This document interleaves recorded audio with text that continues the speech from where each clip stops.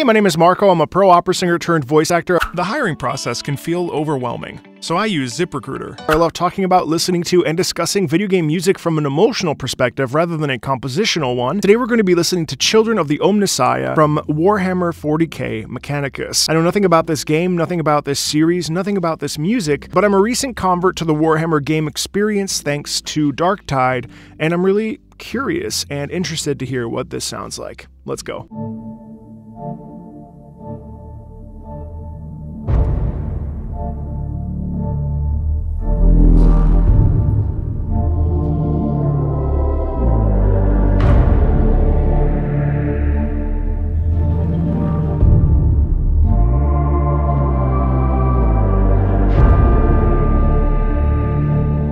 If uh, you're new to the channel, I love organ music that is not used in a liturgical setting. That said, this feels liturgical in a lot of different ways. Also, this reminds me a lot of Interstellar.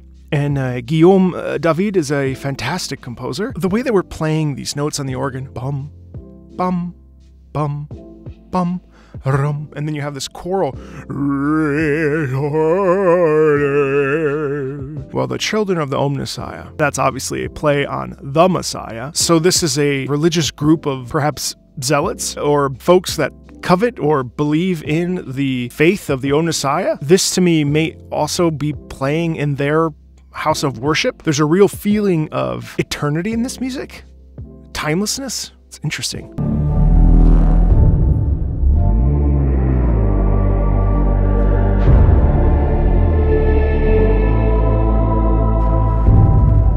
That muted quality to this really symbolizes disproportionate amount of hatred and singular belief in this Omnissiah that perhaps clouds their judgment, almost like they're converts, almost like it's a, a type of cult. There's a deep seated sense of discomfort in this music, in the way that it's written. It's not, oh, I'm Bach, I'm very happy. And it's not like that at all. In fact, this evokes the feeling of watch your ground, don't tread on me. Don't cross this line or you will be destroyed. There's a real sense of hidden violence that exists.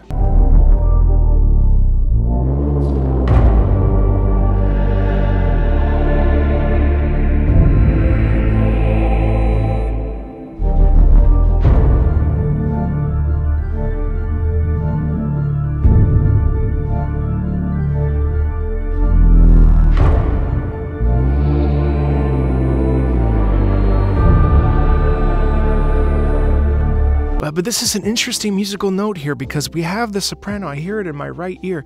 We have the soprano singing this gospel chant almost.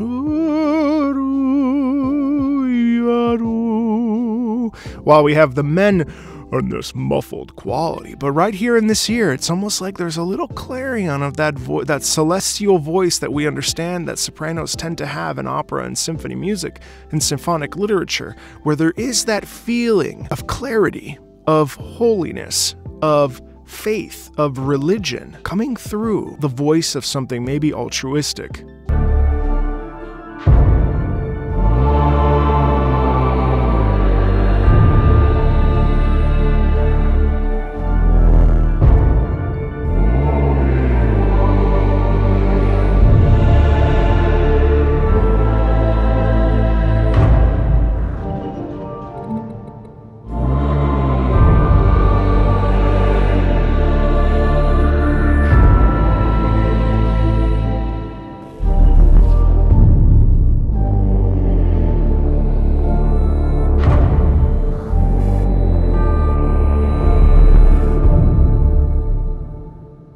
Hear the little hints of roboticism, the mechanical deformity of the children of the Messiah, that they are morphed or or turned weaponized or turned into mechanical, almost robotic instruments of of war. There's that feeling uh, in the soprano represents because it stands out to me the most. It could also be that that soprano is there to remind the humanity that existed before the children of the Omnissiah became these followers, where there was no identity, it was a singular unit moving forward with their belief of whatever the Omnissiah is. And maybe the, that soprano represents their humanity before it was stripped away. And I'm not I'm not sure, but it's certainly interesting. And musically, that's ooh, that's a stunning piece right there. There's a lot more Warhammer on the channel, actually, about four or five tracks. If you want to check those out, there's uh, links here. And as always, thanks a ton. If you want to support the channel, there's links in the About section, and I'll talk to you later.